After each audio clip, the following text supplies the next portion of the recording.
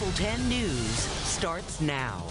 We'll call boater's dream. You're looking at live pictures at the Miami International Boat Show. It's going on today, this holiday weekend. Of course, here's a look inside the Miami Beach Convention Center where millions of dollars worth of boats, yachts, and the newest water toys are on display.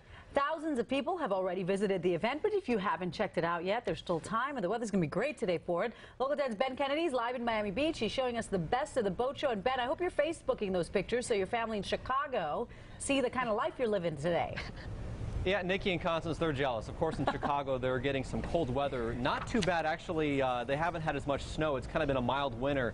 But yes, we're live at the boat show right now, and it's not just about the boats and the multi-million dollar yachts, but also the gizmos and gadgets. For that, I have Stephen Otter here with West Marine to kind of walk us through that. The first one is fuel. It's always a big issue with boaters, even with people who drive cars. Mm-hmm. Um, this is a, an alternative, correct? Correct. And uh, with the fuel issue, it's not just about the price. It's about it's a, become a political issue. Uh, foreign dependency on oil is a big hot topic right now.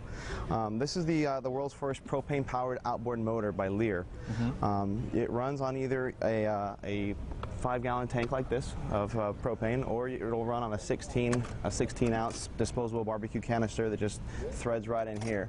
You get about an hour runtime off the uh, disposable canister, or um, you can go for about 10 hours off of uh, one of the big tanks. So it's a it's a great option. and you don't have all the problems with the carburetor, fuel gumming up, phase separation, ethanol issues, and all the problems you have with gasoline outboards.